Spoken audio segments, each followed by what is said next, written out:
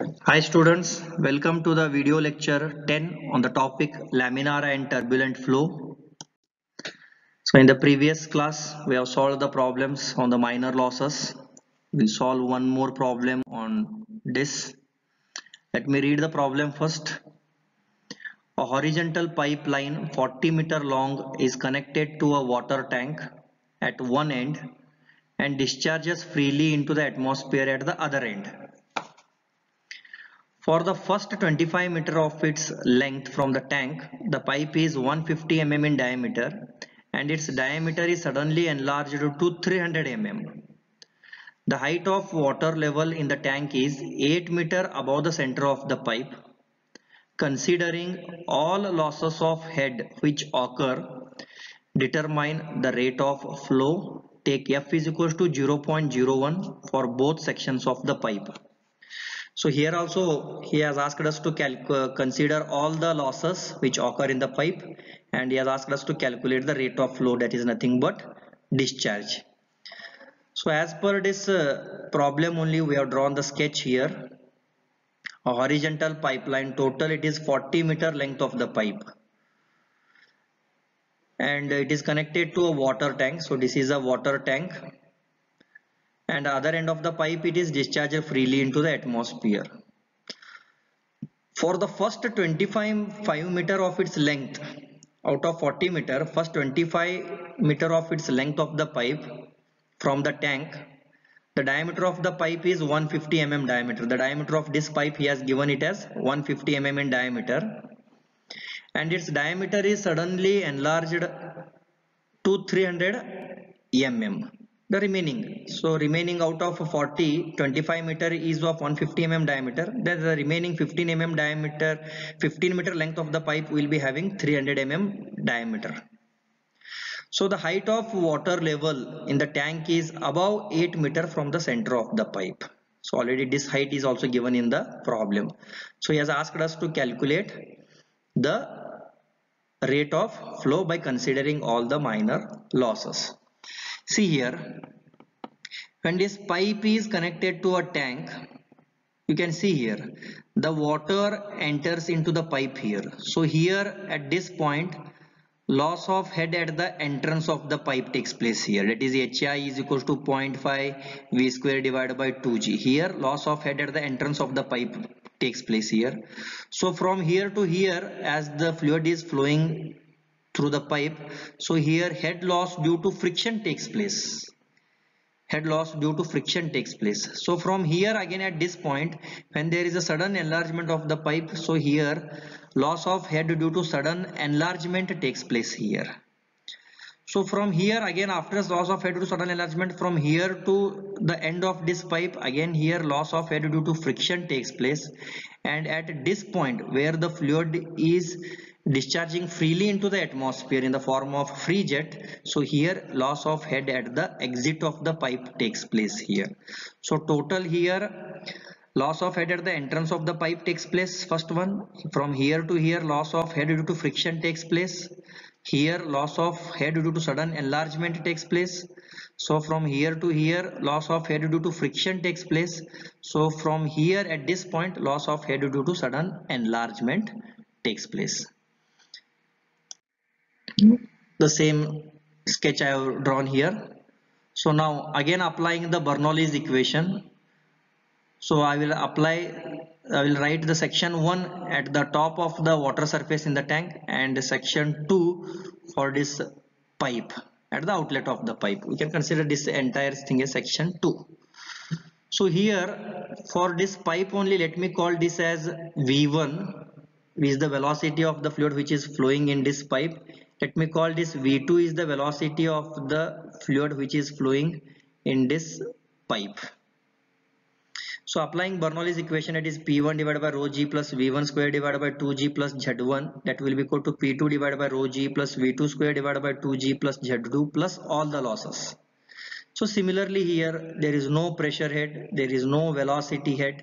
So Z1 is already given that is potential head is 8 meter so here in this pipe throughout the length of the pipe this is 0 this is 0 this is 0 all the losses already I have explained it. Loss of head at the entrance of the pipe loss of head due to friction in this pipe. I will call it as HF1 plus loss of head due to sudden enlargement plus HF2 that is loss of head due to friction in this pipe plus HO loss of head at the outlet of the pipe here.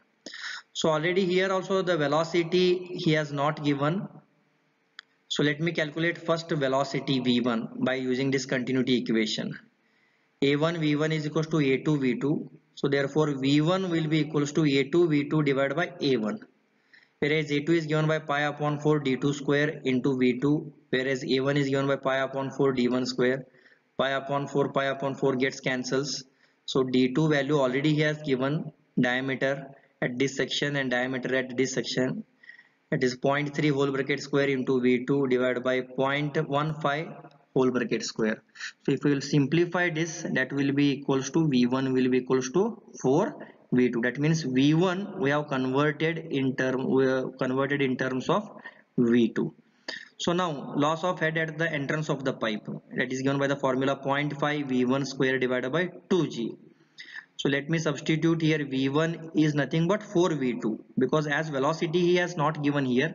So we'll we'll, we'll calculate all the v1 velocity in terms of v2 only. So 0.5 v1 is given by 4v2 4v2 whole bracket square divided by 2g so if we'll simplify this we are going to get it as 8 v2 square divided by 2g it is loss of head at the entrance of the pipe.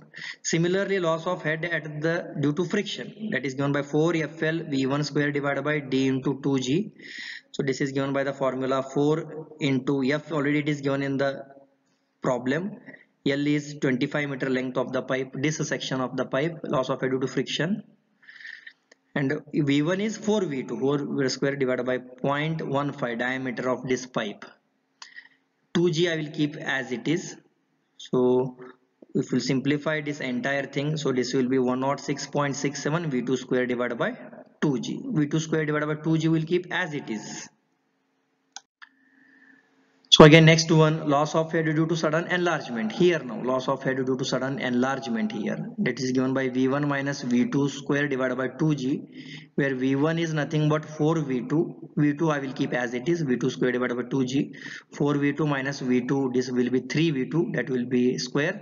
9 v2 square divided by 2g this is loss of head due to sudden enlargement now next from here loss of head due to friction in this section of the pipe. So i have indicated it by hf2 because here we are having two loss of head due to friction in this pipe as well as in this pipe. For that purpose i have indicated first one as hf1 i will indicate this as hf2 where hf2 is given by 4 fl v2 square divided by d into 2g so 4 f is already given L is 15 meter length of the pipe remaining here. There's no 15 meter length of the pipe. V2 square I will keep as it is. 2G also I will keep as it is. D is 0.3 meter.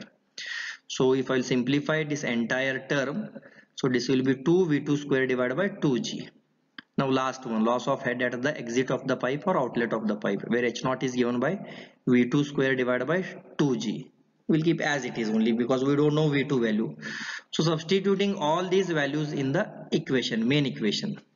That is Bernoulli's equation. Whereas 8 is equals to 8 v2 square divided by 2g plus 106.67 v2 square divided by 2g plus 9 v2 square divided by 2g plus this equation plus this equation. So everywhere v2 square divided by 2g is common. So i will take v2 square divided by 2g as common. So i will and add 8 plus 106.67 plus 9 plus 2 plus 1 so if we will add all these things so this will be 126.67 into v2 square divided by 2g into 8 the same equation I have written here once again. So therefore v2 square is equals to 8 into 2g 8 into 2g divided by 126.67 that is 8 into 2g is nothing but 8 into 2 into g is 9.81 divided by this 126.67 so this is v2 square. Therefore v2 is equals to root of this value. So v2 i am going to get it as 1.113 meters per second. So now once we got the value v2 easily we can calculate the discharge. That is the rate of flow q is given by a2 into v2 whereas a2 is given by pi upon 4 d2 square. Velocity at section 2 is 1.113 that is pi upon 4 d2 is 0.3 meter square. 1.113 so for discharge is 0.07867 meter cube per second. So that will be equals to 78.67 liters per second. So this is my discharge. See here rate of flow. With this velocity at section 2 with this by using the continuity equation i can easily calculate the velocity of the flow at section 1 also. That is v1 also i can calculate by using a1 v1 equals to a2 v2 value. And here also i can calculate q is equals to a1 v1 i am going to get the same discharge if i'll calculate the discharge for section 1 also so similarly, you solve some more problems from the Bansal textbook. The concept is same only. So which will be helpful for your external exam. You can solve Bansal solved problems only.